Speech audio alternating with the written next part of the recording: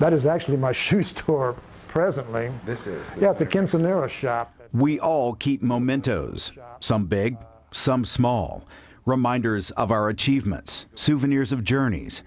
John Brewer's mementos are his past and ours.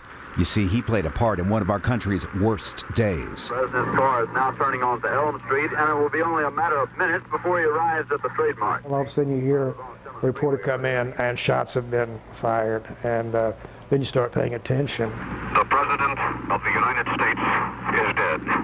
It's been 50 years since Mr. Brewer listened to that gut-wrenching news on his transistor radio. And just uh, within a few moments, another report that an Officer officer had been shot here in Oak Cliff.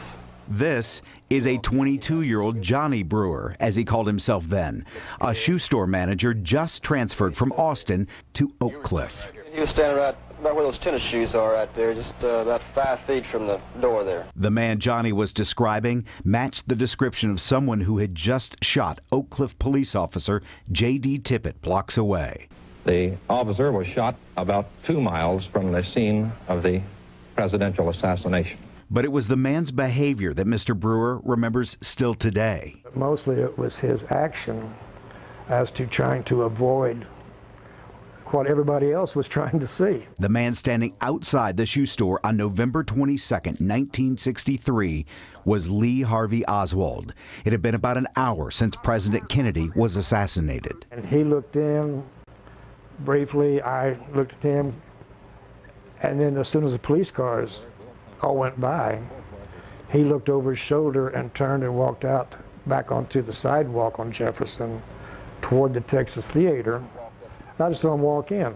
I said, something's not right here.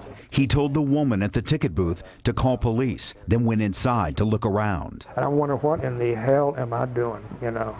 Seriously, uh, am I, am I carrying this too far? You know, what? Did I really see that? And in just a few moments, I mean, this was quick. Uh, the house lights came on. The movie was still playing. I looked up between the curtain and I saw him, you know, just sitting there just a couple of rows from the back uh, in five or six seats. Then I heard this noise outside and uh, opened the door and the police grabbed me and uh, asked me what I was doing there and I told them and they asked me if the man was still in theater. I said yes. Police reenacted what happened next. With Johnny standing just feet away, Oswald pulled a gun but was overpowered and arrested. The entire scenario lasted only minutes, but reliving it has lasted a lifetime for this soon-to-be 72-year-old.